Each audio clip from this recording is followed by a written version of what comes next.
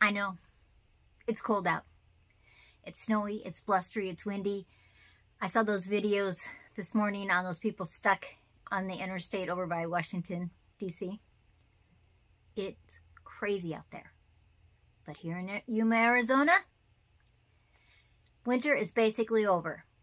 There's only really a chance to have frost um, for about two weeks. You can have it about a week before New Year's and about a week after. The 10-day forecast is all in the 70s now. The low temperatures are in the 40s and 50s. So I say winter is over. I did cover last night because it was going to get down to 39, and I think it probably did. Let's go out in the garden. And I'm harvesting cauliflowers today. I want to show you my amazing corn. Corn that's over six feet tall. Actually, when I did did the video clips this morning, I think it's close to seven feet tall with the tassels. But it's a whole different outlook. So if you're missing your garden, you're missing that great time outdoors, come along and see my garden and start dreaming for springtime. I'm just uncovering all the plants. I had them covered up. I usually use um, any kind of clip or clothespin to hook it on just in case the wind comes up. Now in this area, I just covered them up with flat sheets. You can use a lot of things. There's row covers, there's tarps, there's blankets, anything that you have available that will keep that heat in. And if you can cover them before the sun goes down, I like to do it about 4.30, 5 o'clock actually, and the soil is still warm then. Now it does crush the tops of the tomato um, branches, but they pop back out. Now here's some crazy bok choy that I'm letting go into seed and the bees have just loved it. But we picked and picked and picked the bok choy on our tower. Now we're going over to the broccoli. Now I have been harvesting broccolini, that's on the other part of the garden, but the heads of the broccoli are really filling out and they're spectacular. I'm not sure what I'm going to make with them. There's lots of tomatoes and I like to play find the tomato. It's interesting and I'm always finding ones they're back behind leaves that I didn't see before besides the ones that are just really obvious. And so I'm just going through and I'm just kind of checking, seeing if anything broke from the weight of the um, covers. There's some cauliflower. Now this type of cauliflower that you just saw, the underneath stalks are kind of a light purple, a lavender. But this is my raised bed area. And it's got the tomatoes and it's got lettuces, the broccolis, the potatoes that never came up, some little tiny tomato seed um, plant, and peppers, hot peppers. So I have to wait until those turn red before I can pick those, but they're coming along. They keep flowering. And I'm going to pick both of those cauliflowers. I'm looking for any red tomatoes because I did have a red tomato already. I showed that on the community page. But I'm just not seeing any more red ones. But now that the weather is turning warmer, 60s, 70s, we'll have some days of 80s soon. This is where some cauliflower was before. I'm actually going to chop all those leaves up. That is like a bok choy. It's a little different version. Really tasty on salads. You can just eat it too. Now here's that basil that I planted last year around my ponderosa lemon. It is crazy and the stalks are just huge. But I covered up these two little pumpkins just in case it just got too cold. And it's just a sheet that I covered them with. These ones haven't started to flower. I didn't plant these till a lot later. There are my oranges. That tree is really struggling. This one is a different um, lemon. They got watered this morning, so there's still water in the trench. And here's a couple peppers that were late getting planted also. And they really struggled for a while. So I popped that wood up there so that it would protect it. Here's my cilantro. I've never had cilantro this big ever. You know, it's almost as tall as me. But let's go back by the corn so you can have a perspective of just how tall it is. So here I am behind the corn. And I'm just going to push the corn out of the way so you can kind of see. But see how tall those um, stalks are? It's just crazy. Now, I don't cover the corn at all. And it's starting to make the ears of corn. There's tomatoes right next to it. And usually they're taller than me, but I had a cover on them last night. And it'll give take a couple hours and the sun will warm them all up and they'll perk up. And it has a lot of tomatoes on there too. They're very bushy. There's only four plants there. So here's another look at the corn a little bit closer up.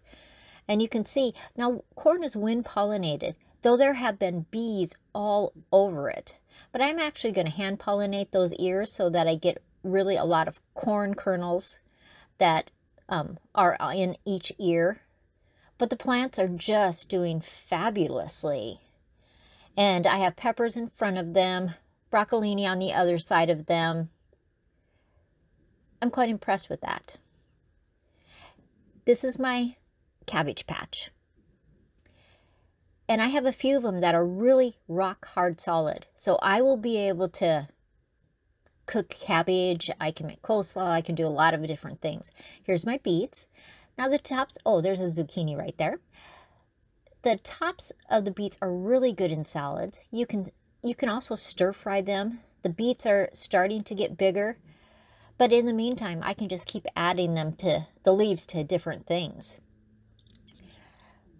We have calendulas and then the cucumbers. I'm going to fertilize them with a little bit more nitrogen. They're not as dark colored as I would like. And so there's something in the soil that isn't giving isn't giving enough nutrients. So I'm going to spray those this week, but you can see they're starting to set cucumbers. Now these are all um, like a straight eight. They're eating cucumbers. They're not pickling cucumbers.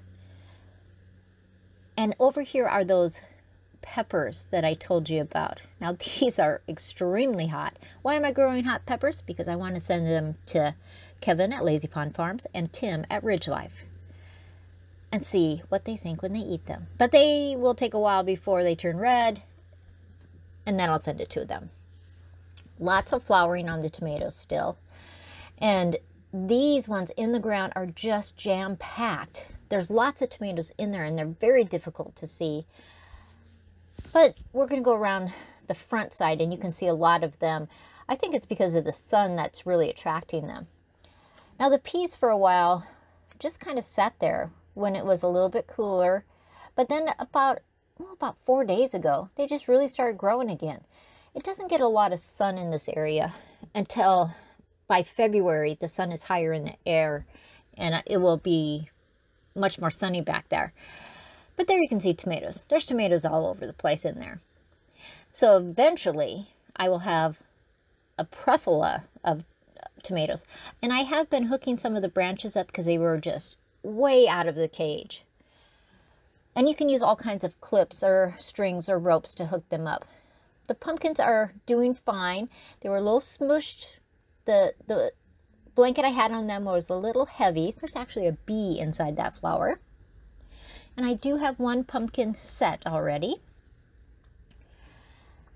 But they they just keep growing. And with the warm weather they will just really go. The okra is coming along. It will like the warmer weather. Now these are covers for a light. They were just here. So i used them as a mini greenhouse for the celery and it has worked. I just have left them on all the time. There's some broccolini that i need to cut i'm going to walk over and Here's some more cauliflower. I'm going to actually pick one of these for mom and dad today. They are huge. It's kind of hard to tell from the photograph and the video, but they are huge. In fact, um, the one I pick, I brought it inside and it's actually 22 and a half inches in circumference. It's humongous. There's some more broccolini. I cook the, even when they start to make a little flower, I still cook it. Here are my onions in the swimming pool. They are getting taller, they're getting thicker. With the warm weather, in a month's time, you will see a huge difference. But here's just an overview of the back garden. I'm happy with it. It's January, and everything is really growing well. It's amazing that you can have two summers in one year when you live in Wyoming and you live in Arizona. I just thought I'd show you an update of the flower bed that we made. I moved those great big herbs that were by one of the citrus too. This is a guava. It sends out those little branches. They'll actually go sideways when they get a little bit bigger. But the rosemary and the oregano and the mint and the thyme, they're growing wonderfully. So are the bananas. Now I have to tell you that over the last couple weeks, I have covered the bananas almost every night. And I just, oh, there's Joe. He is actually cleaning the windows because he's recocking them and putting new screens on them. But then the bananas are an interesting thing, and I can't wait till they're six, seven, eight feet tall. Sage is growing, the different flowers are growing. It's early in the morning, so some of the flowers haven't opened up all the way. Now, this is a hibiscus. It has a lot of buds. Hummingbirds love these. And that's why I planted them. So probably in the next week or two, they'll be blooming. My iceberg rose, what can I say? I've showed it in a lot of videos. I am totally amazed with it. Now here's a Swiss chard. One of the things I learned since I've been down in Arizona is that Swiss chard is a perennial in Yuma, Arizona. Not in every place in Arizona, but Yuma it is. And it can live 15 years. And it makes a great big stalk like a trunk of a tree. And you just keep breaking the bottom leaves off and it can get really tall. I'm i think it'll be an interesting experiment to see. The icelandic poppies are still blooming and the palm that i moved has really um, set itself well right here. It has really liked it. But i just love that new garden space in an area that was really um, a rock quarry. It was just rock everywhere, gravel. So I should call it a gravel quarry. But I am happy with it. My towers are growing well. I have to water them basically about every day unless it's really cool out. And I do need to do a few more deadheading on like the petunias and marigolds. This is our little project from I think about a week ago when we made a pot when we didn't have a pot. And those plants have settled in and they have been blooming. These are just some succulents that I have hanging along the edge of the patio. And they're starting to fill themselves in. My pansies are blooming in my little wheelbarrow.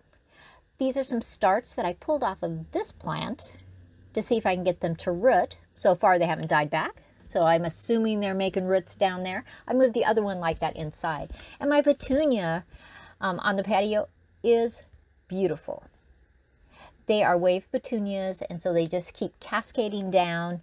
And I just have really, I've really enjoyed having them right by where we sit outside. Make sure you like, subscribe, share with the world, of course. Oh, and here's my little area that we added with part of the wash machine. And these flowers, the hummingbirds love anything that that's a flower that looks like a trumpet. Usually they will love. Now I'm chitting some potatoes because I'm going to add them in one of the raised beds because we still have till April and I think I'll be able to get them. I started some seeds. Those are little lime basils that are starting to come up. And here's that one cauliflower that I'm taking over to mom and dad's that I measured. 22 and a half inches around. Fabulous color flower. And this is a little sneak peek of my apron. Are you ready for springtime? Are you ready for that snow to go away? I hope you enjoyed the, the garden update and what I'm doing. I'm actually going to go, I'm going to go where you saw where I cut all those cauliflowers. And I'm actually going to pull those plants out, chop up everything, put it back on the soil, and I'm going to plant, I think, some cauliflowers again we're here till April, and I really think that I have enough time to have a second season on cold weather crops. Many of my cabbages are ready. So I'm going to do corned beef and hash. I'm going to make some coleslaw, different things like that. I hope you enjoyed the garden tour. It is just so fun having two summers every year. And I'm just truly blessed that we are able to do that. Everybody have a great day. Stay warm, stay safe, and I'll see you next time. Oh, side note, I'm fixing meatloaf, so I'm going to show you how I do that.